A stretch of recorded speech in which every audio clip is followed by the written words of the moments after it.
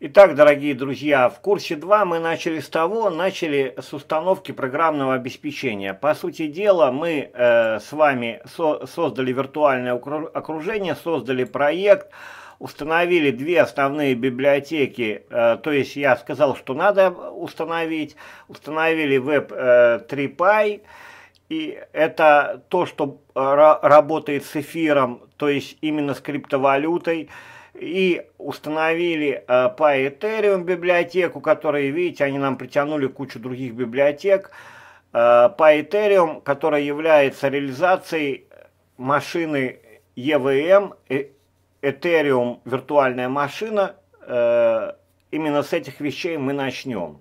Мы с вами обговаривали, как мы, где мы будем помещать виртуальное окружение, где проекты, ну, то есть э, проверили, вот начнем с этого. Разобрались, разобрались, разобрались и погнали.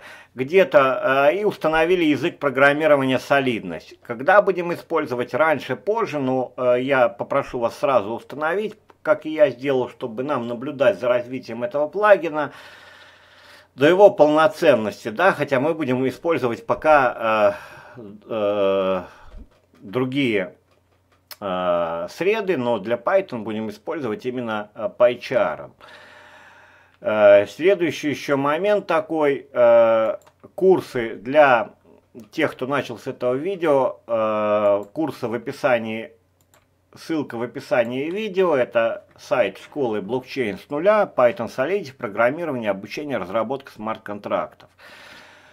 Все, э, получится, ребята, э, будете писать э, децентрализованные приложения, как и мобильные, так и веб. Ну, а там уже в программы встраивание, это вы уже сами